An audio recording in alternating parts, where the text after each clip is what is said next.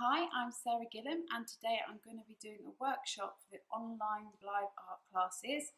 Today we're going to be doing a collage workshop to make a surreal image. You're going to be using found images. So first of all you'll need to collect these items together. So you'll need some found images. Um, you can either use books or um, I've got some postcards here. These books I bought in a charity shop or magazines or anything you got an interesting image on it that you're drawn to and that you don't mind cutting up. Also, you will need a craft knife, but I like to use a small pair of scissors and some rulers. Also, you'll need some newspaper.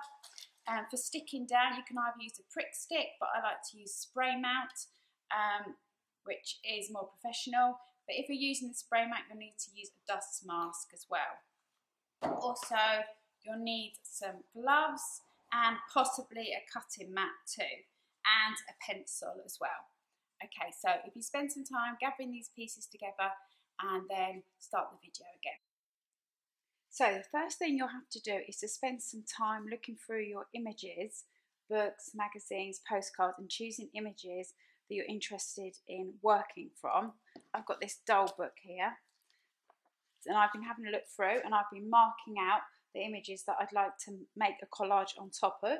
And this one I'm particularly interested in. Um, so then the next thing I did was go and have a look through my postcards collection and I found this mouth, which I really like. It's a black and white mouth from a film. Um, what I've done is I cut out the um, negative space in the middle using a pair of scissors. Some people might prefer to use a craft knife, but I quite like scissors. I get a bit more control using them.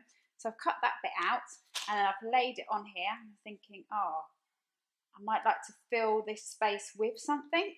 So then I went back through my selection of postcards and found this sort of vintage postcards from like, it's like from a stately home.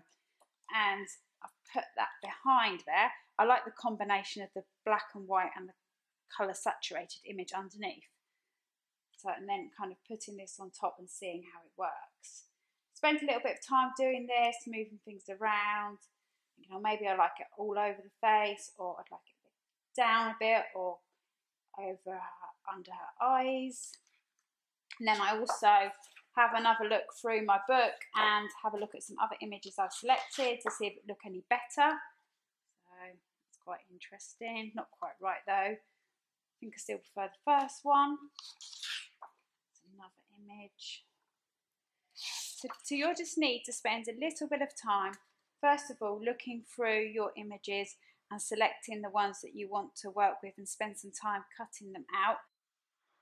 A tip that I have for you to making this process easier because it can feel quite overwhelmed when you've got lots of images to work from and you don't know how to select. What I often do is start with three different images. So one, two, three or sometimes it's just two, okay? So if you just limit yourself to two or three images to work from to begin with, okay? I'm just gonna have a finish having a play around and making sure I've selected the right images. So if you stop the video now and spend some time cutting and selecting and moving around images. And then in the next video, I will show you how to stick your images down.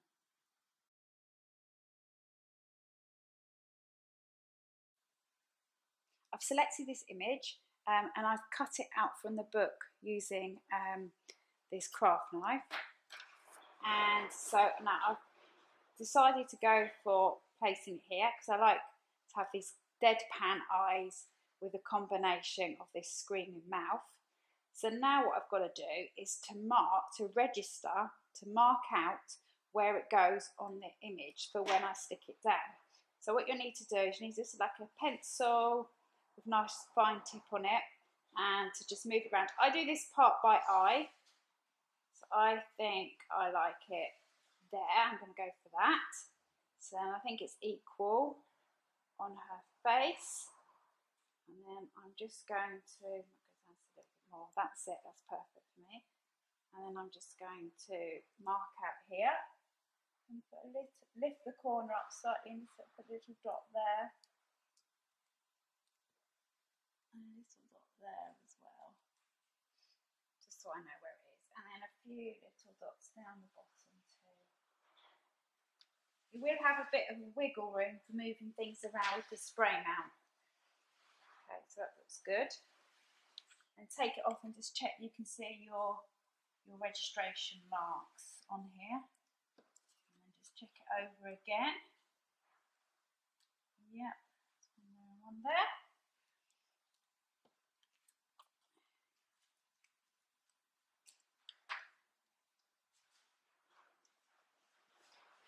Now I have to work out how to um, position this and to know when I'm sticking it. Um, like I said before, with the spray mount, you can move things around slightly, but I'd like to get the position correct-ish before. So I'm happy, I quite like it like that with a bit of the teeth and with the trees. So what I'm going to do is, again, use my pencil to just kind of do a mark here. So I kind of know-ish where it is. And then perhaps just a little one down there too. So I can see those when I go and put it on. Yeah, that's good to me.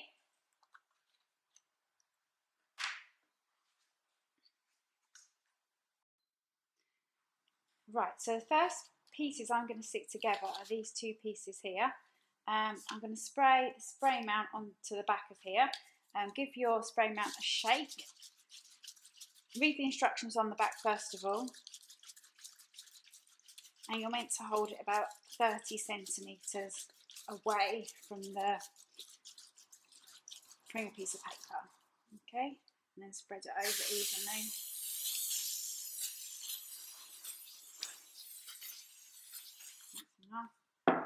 And then just give it a little bit of time so it's a bit tacky before sticking it straight on. What I'm going to do is I'm going to throw this old newspaper away, I'll just fold it up and then place this image on here that's probably enough time to leave it another couple of minutes, a couple of seconds rather. Okay, and then I'm just going to um, position it on here. And I've got my mark I made earlier on. There.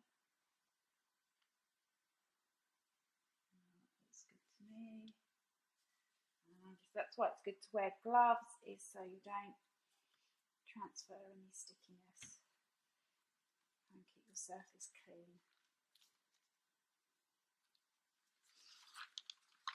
It, then it slightly sticks to the paper, so you have to take it off before it fully sticks. I'm happy with that. I'm going to put that to one side now. So now I'm going to stick this onto here. Um, I've got some fresh newspaper I'm going to put this to one side. And then I need to spray the back of this image with the spray mount.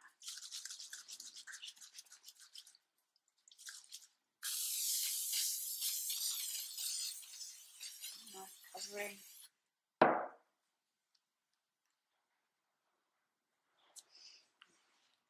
Minutes.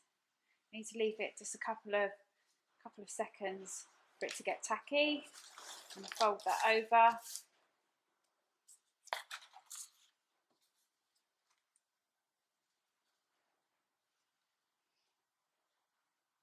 And I've got my registration points from earlier.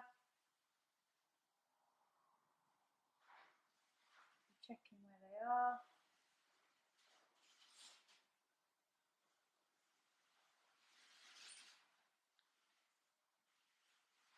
Could measure this out with a ruler, but I'm going to do it by eye. I think that's a bit too close to the um, the eyelashes. So I'm just going to remove it slightly and do it again. This is what's really great about using spray mount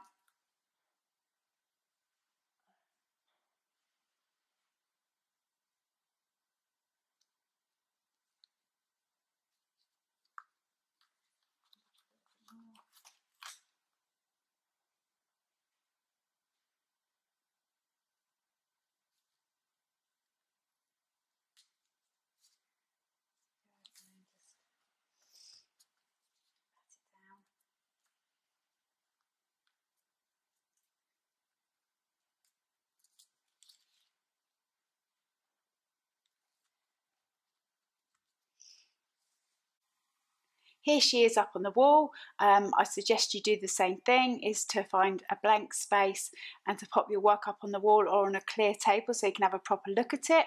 Um, I've cut away the extra bit of paper that was on the side here, so we're just focusing on the image. Um, I hope you've enjoyed this collage workshop. It's a really exciting way to make interesting images um, that can inspire you to then work from them, make paintings from them, or sculptures from them, or just have them as work in their own right. Um, I also find it quite helpful to work on several collages at the same time, and that's what I was doing when I was making this one, in fact. Um, so I hope you've enjoyed it and um, continue to work this way. Okay, thank you.